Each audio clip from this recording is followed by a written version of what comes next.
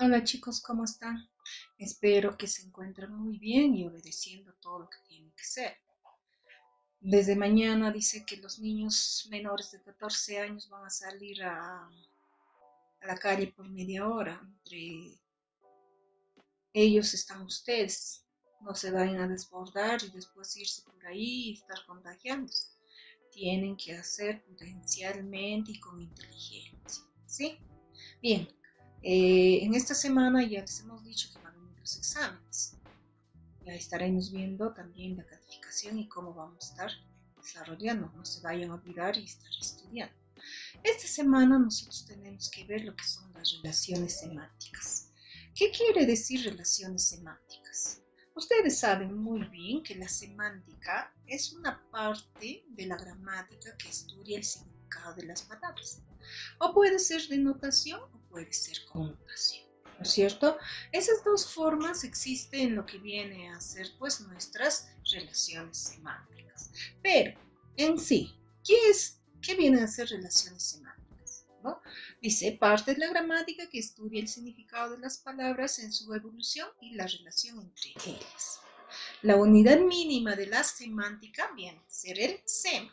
El sema es un rasgo significativo podríamos decir que es una partecita que significa algo para todo esto, ¿sí? Mientras que el semema, ¿no? Que, son los rasgos que forman el significado de una palabra, es el semema es el completo de todo lo que significa esto, por decir, ¿no?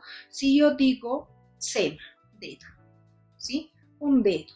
Un dedo, que es, un sema, es un significado pequeño, me puede estar dando ya el significado general de algo que yo tengo, que viene a ser un semema, que es la mano, ¿ve? Está completo. El, el sema puede ser la mano, ¿sí? Entonces, esta pequeña significación que es la mano me puede estar dando el significado de algo. Por decir, vamos a hacer un ejemplo, ¿ya? Eh, unos policías encontraron una mano en un campo deportivo. Wow, ve una mano. Entonces, ¿qué? En nuestra cabeza, ¿qué se forma? Dices, ¿no? Cuando ha encontrado una mano, ah, ¿y el cuerpo? Entonces están, están buscando el cuerpo, ¿ve? Todo el cuerpo. Entonces el cuerpo es el semema, ¿entiende? Es el rasgo uh, significativo más amplio y ahí es lo que te debe dar el significado completo de lo que viene a ser la parte pequeña. ¿Entiende? Por decir, acá encontramos, ¿no? Los semas. Los semas son asiento, brazos y respaldo. ¿Ve? Asiento, bueno, no hay los brazos y respaldo. ¿De quién? De la silla, del banco, del sillón. ¿Sí? ¿Qué me indica silla, banco y sillón? Lugar donde me siento, ¿sí? Ya me está completando todo. Entonces el semema es el, lo completo que hay dentro de nuestra significación. ¿ya? Pero no nos olvidemos que la unidad mínima de la semántica es el C. Un ojo, me costó un ojo de la cara. ¿Qué quiere decir? Este ojo lo he vendido para comprar tu cartera. No, por decir que costó muy caro. ¿Ve? Entonces, denotación es objetivo, y connotación es subjetivo. Denotación, yo lo veo, yo lo palpo, yo lo encuentro, yo lo tengo acá, mientras que connotativo no. ¿Entiende? ¿Ya? Entonces, esa manera.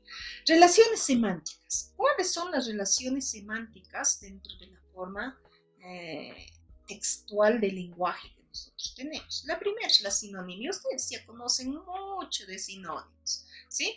Dos o más palabras son sinónimos si tienen parecidos significados. No hay que olvidarse, el, año pasado yo les he dicho, parecido es el sinónimo, no es igual, ¿sí? Eh, por ejemplo, ¿no? Listo, inteligente, perspicaz. Son tres sinónimos, ¿ve? Listo, inteligente, perspicaz. Listo, ¿qué quiere decir? Que sabe, ¿ve? Inteligente, sabe mucho. Perspicaz, está atento, ¿ve? Gordo, obeso, rollizo. Viejo, anciano, longevo. ¿Ve? Entonces, ¿qué quiere decir? Que el significante diferente, pero significados parecidos. Antonimia. ¿Qué es una antonimia? Relación semántica en la que dos o más palabras presentan significados opuestos. Ya sabemos nosotros esto. Lo opuesto, lo contrario de las palabras. ¿No es cierto? En este caso, por ejemplo, lo más fácil, nomás que tenemos en casa, en nuestra mente, alto, bajo, arriba, abajo, ¿no? Flaco, gordo, ¿ve? Feo, hermoso, cerca, lejos, ¿entiendes? Significante diferente y significados opuestos. Polisemia. ¿Qué quiere decir la polisemia? Poli, varios. Sema, varios significados. ¿Sí? Relación semántica en la que una misma palabra presenta un mismo significante con varios significados o acepciones, que a su vez comparte como mínimo un sema o rasgo significativo. No sé, ¿sí? Por ejemplo, la paloma se rompió el pico. ¿No? El pico, parte de un ave. No encuentro el pico para labrar la tierra. Pico, herramienta, muy bien. El pico del cerro está cubierto de nieve. ¿Qué quiere decir? Cúspide de la montaña. ¿Ve? En los enunciados se puede observar un mismo significante. ¿Cuál es? Pico. O palabra con significados diversos, pero a pesar que están escritos igualitos, pico, pico, pico, tienen significado diferente, ¿sí? Los cuales tienen en común el SEM, ¿ve? El SEM, pero el rasgo o la forma en punta de cada ejemplo. Mejor dicho, el semema ya es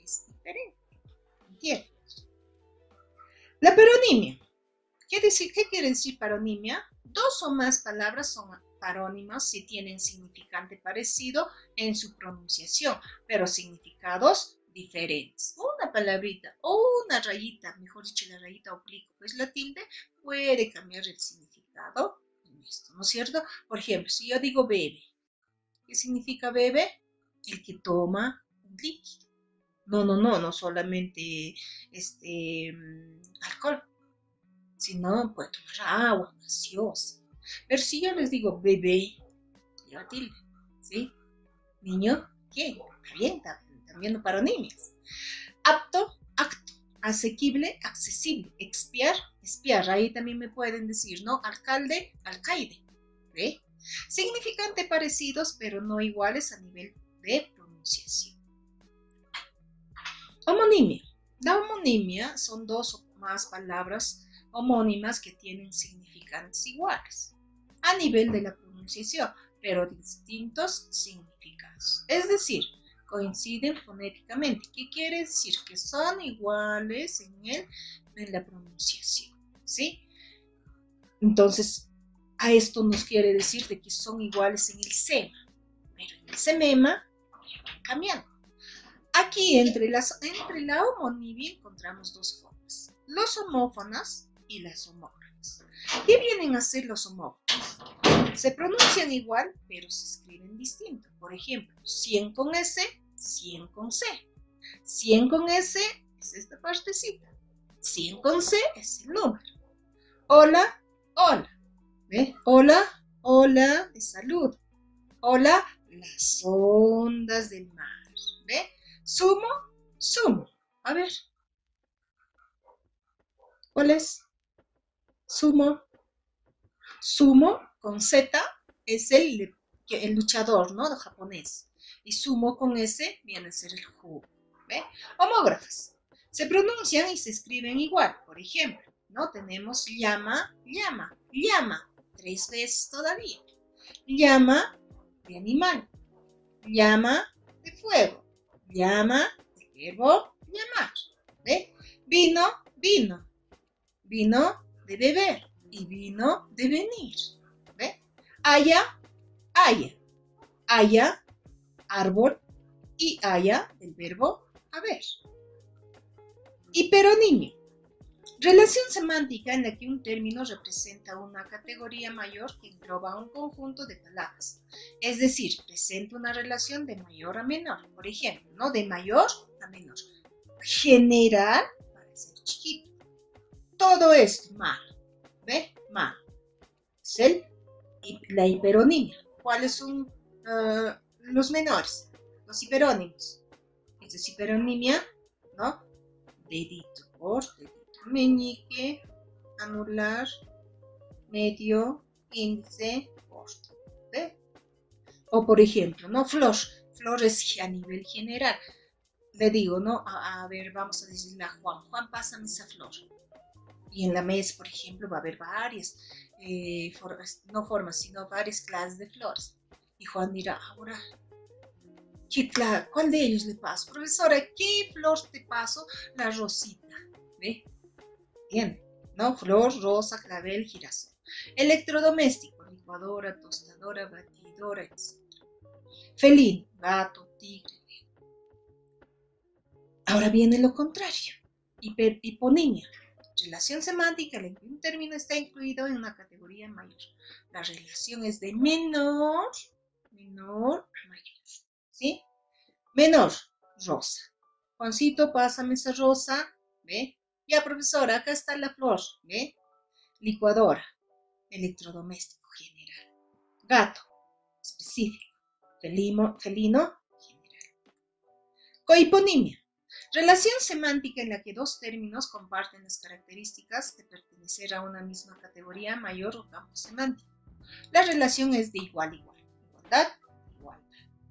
¿No? Rosa, Margarita, clavel. O cualquiera que pueda ser los nombres de las. Licuadora, lavadora, tostadora, ¿ve? ¿No? Gato, león, tigre. Entonces son iguales. ¿Qué es eso? ¿Ya? Entonces, no hay que olvidarnos esas diferencias de palabras que tenemos. Claro que en razonamiento verbal también se estudia. Hay que especificarlo aquí como semántica. No se olviden entonces de seguir estudiando. Hay que obedecer a sus papás y no hagan renegarlos. Y ustedes, mis, solitos nada más pueden seguir estudiando y también esta vez las prácticas están viniendo menos para no acumularles de tareas y no se vayan a estar estresando también. ¿Sí? Apoyen a sus padres y nos vemos la siguiente clase.